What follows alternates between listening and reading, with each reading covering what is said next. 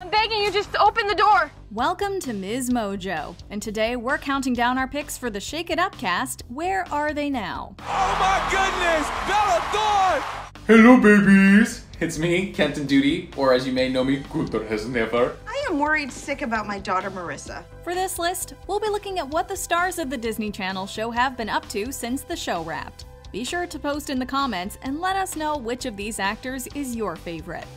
Number 10, Anita Barone. Quit yelling! You're gonna wake the whole neighborhood! Barone was Georgia Jones on Shake It Up. Since then, her acting credits have largely consisted of minor guest spots. To Barone's credit, though, they've been on pretty impressive shows. I am worried sick about my daughter Marissa. These include, but are not limited to, KC Undercover, Hot in Cleveland, Parenthood, and A Million Little Things. But if you feel like you recognize her from somewhere else, you might be thinking of a sitcom credit she earned long before Shake It Up ever existed.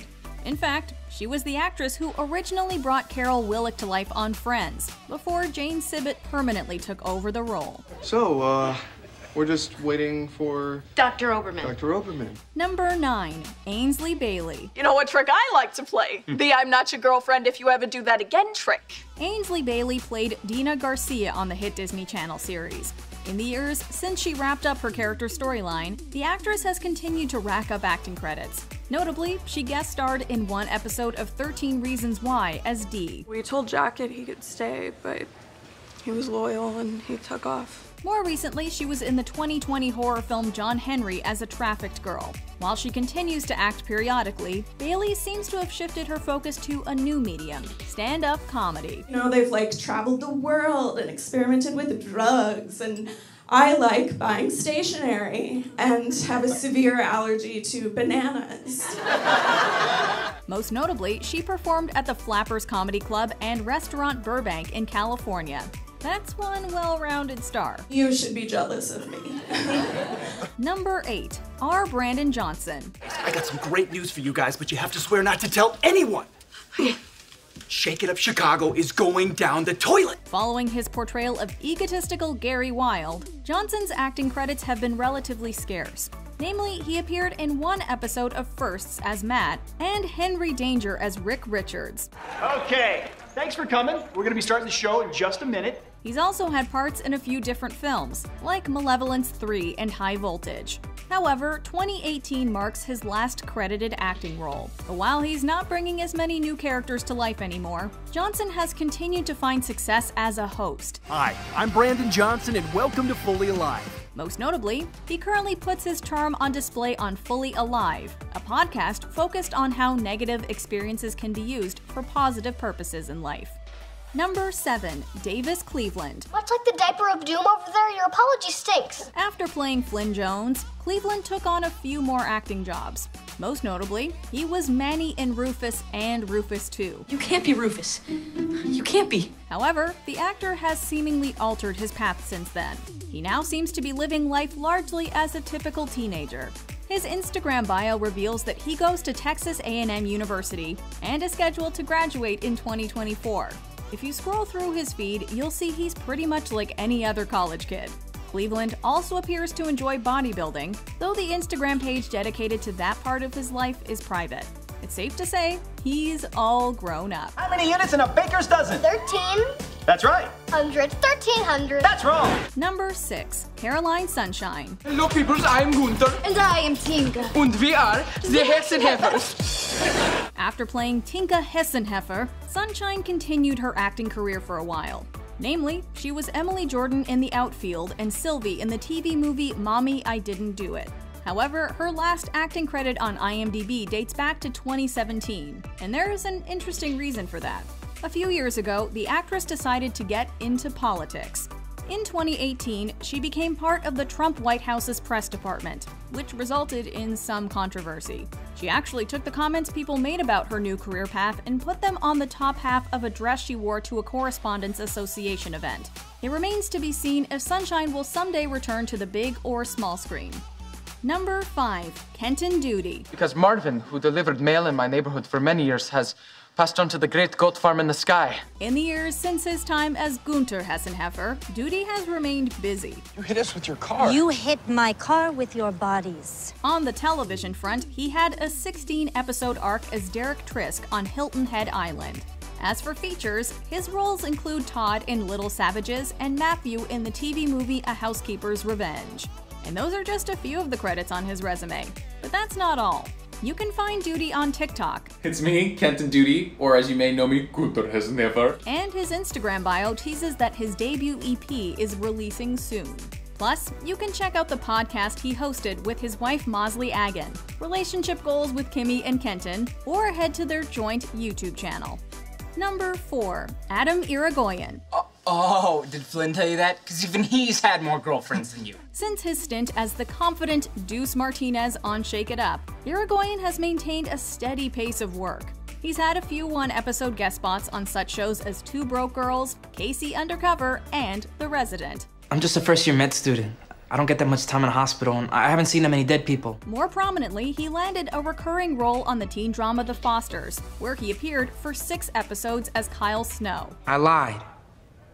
I was there in the morning, I saw money on the counter, and I took it. He also played Ray on the sci fi series The Last Ship. Then, in 2020, he tackled two new projects. On the movie front, he played Francisco in Centurion 12. And on television, he brought Isaac Rodriguez to life in Away. While the series was canceled after one season, we're excited to see what he does next. Number 3. Roshon Fegan. What do I need with that? I got enough admirers that don't keep it a secret. Roshon Fegan played Ty Blue on Shake It Up. As the show made clear, he is a multi talented artist. He put his dancing skills to good use when he competed on Dancing with the Stars in 2012.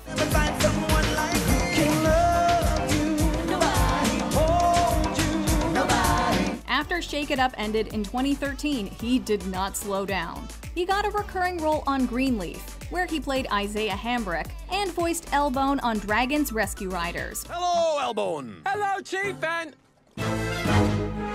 Dragons? Not to mention, he's had guest spots on shows like Crazy Ex Girlfriend and Insecure. Yeah, yeah, the night my boy got shot. And if that wasn't impressive enough, he's a rapper as well. The star is part of a duo called Evo Invasion, alongside Stilltech.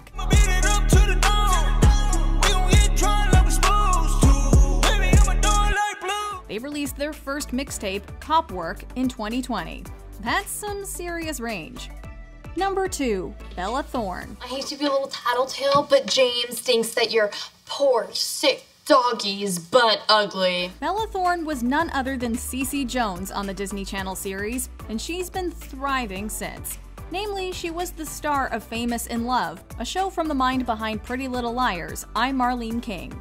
She played the main character, Paige Townsend. So if you get up there and it's just, it's too much to handle, I get it. However, the show was subsequently canceled. Of course, the star was also Mean Girl Madison Morgan in the Mae Whitman led movie The Duff. Those are just a fraction of the roles she's played. Thorne's talents don't stop at acting, as she also has a successful singing career.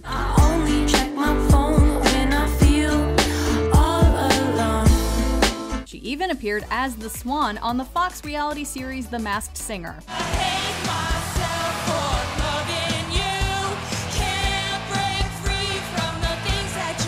Needless to say, she's just getting started. Oh my goodness, Bella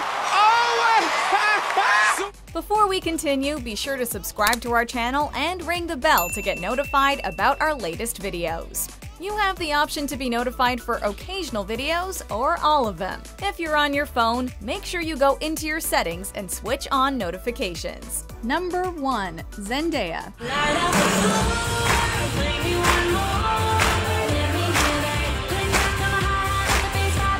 Since bringing Rocky Blue to life, Zendaya has been unstoppable. Following the show's end, she got the lead part in another Disney Channel show, KC Undercover. I hate that I have to talk to this convict, Bernice.